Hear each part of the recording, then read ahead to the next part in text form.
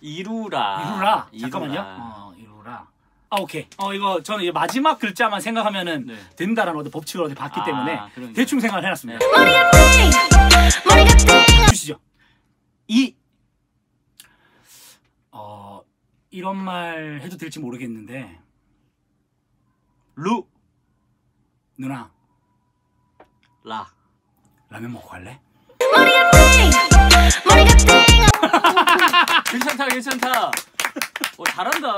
아니, 라 하면은, 네네네. 어, 라면 먹고 갈래? 어, 이거 재밌겠는데? 라는 생각이 들어서 했어. 어, 괜찮네요. 아, 저, 저 엄청 심장이 뛰고 빠르게 뛰고 오셨어요. 아, 이거 굉장히 팁이네요. 괜찮았어요? 꿀팁이네요. 마지막 걸 먼저 생각을 이게 하고. 어디선가 박명수 씨가 이야기를 해준 거예요. 어. 마지막 글자부터 네네네. 머릿속에 빨리 생각을 해야 된다. 어. 오케이, 그럼 키비 씨 한번 이루라로 한번 해볼까요? 해보시죠. 해보죠. 생각 되셨나요? 일단 뭐 막 생각해보는 거 오케이. 있잖아요. 근데 일단은 이, 이거 봐라. 오, 루, 누구야? 라. 라디오 아직도 안 듣는 거 누구야? 오,